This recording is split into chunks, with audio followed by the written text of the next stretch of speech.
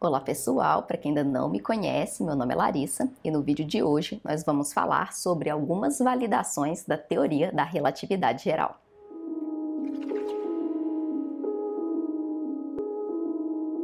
Já deixa o seu like nesse vídeo e se inscreve no canal se você ainda não é inscrito.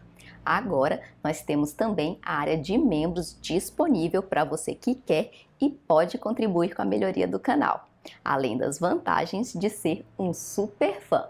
Me segue também lá no Instagram, no arroba bariogênese. Um dos primeiros testes pelo qual passou a teoria da relatividade derivou de cálculos incessantes do próprio Einstein. Sabemos que todos os planetas sofrem perturbações de suas órbitas causadas por outros planetas, mas Mercúrio apresenta uma leve precessão em seu periélio, ou seja, o ponto da órbita mais próximo ao Sol, que não pode ser explicada pela teoria newtoniana. Essa variação na localização do periélio de Mercúrio somou-se durante os anos 43 segundos de arco por século, lembrando que 3.600 segundos de arco equivalem a um grau. Em meados do século XIX, essa discrepância chegou a ser atribuída a perturbações causadas por um outro planeta, chamado Vulcano, que nunca foi encontrado. A teoria da relatividade geral ainda não estava completa, mas Einstein calculou sem nenhum artifício adicional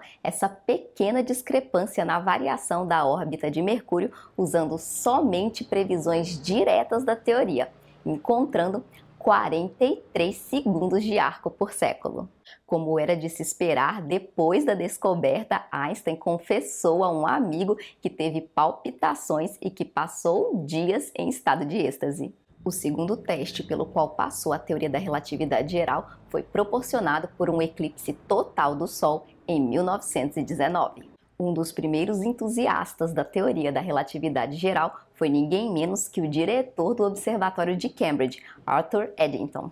Ele queria demonstrar que a teoria estava correta e o eclipse de 29 de maio de 1919 seria uma oportunidade única para mostrar que a trajetória da luz emitida por uma estrela é desviada ao passar pelo Sol. Lembrando que Einstein era pouco conhecido na Inglaterra, terra de Sir Isaac Newton.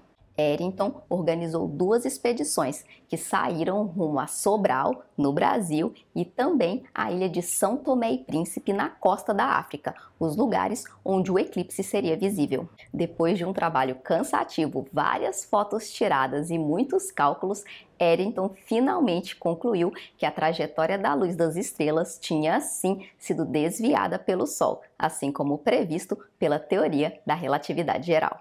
A comoção foi geral e Eddington descreveu essa como a sua medição mais importante da vida. E foi na Terra de Isaac Newton que a teoria da gravitação universal foi modificada pela primeira vez em mais de dois séculos. A ciência unia dois países que eram inimigos em uma guerra recém-acabada. A fama de Einstein se tornou então inevitável e todos os jornais da época só falavam dessa nova teoria que mudava a nossa visão do mundo. O The New York Times, por exemplo, não deixou de publicar sobre o espaço-tempo curvo e essas novas ideias por vários dias.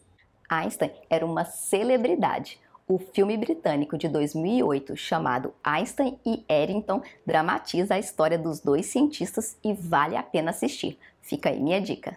Durante anos, a teoria da relatividade geral vem passando por todos os testes observacionais a qual é submetida. Como último exemplo, vamos falar da dilatação do tempo, tanto aquela prevista pela teoria da relatividade especial, quanto aquela prevista pela teoria da relatividade geral, que além de ser um tema digno de ficção científica, também tem influência na nossa vida prática. Esse teste foi realizado em 1971, quando dois físicos colocaram relógios atômicos que são extremamente precisos dentro de dois aviões comerciais um avião viajou para leste, na mesma direção da rotação da Terra, e o outro na direção contrária, para oeste, somando 40 horas de voo. Foram considerados os efeitos da relatividade especial, ou seja, a dilatação do tempo causada pelo movimento relativo das aeronaves com relação à Terra, e também as previsões da relatividade geral, a dilatação gravitacional do tempo devido à altitude.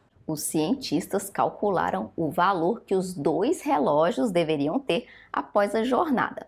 Lembrando que nos cálculos também foi feita a correção para referenciais não inerciais. Os valores calculados foram confirmados pelas medições com uma precisão de aproximadamente 10%. A diferença prevista e encontrada entre os relógios estava na casa dos bilionésimos de segundo. Atualmente, esses efeitos são de fundamental importância para o sistema de posicionamento global, o GPS. Se a teoria da relatividade não fosse levada em consideração, o posicionamento preciso de aviões, por exemplo, não seria possível e um dia de mau tempo a aterrissagem seria bastante perigosa. E não posso deixar de mencionar uma validação recente da teoria, a detecção direta das ondas gravitacionais.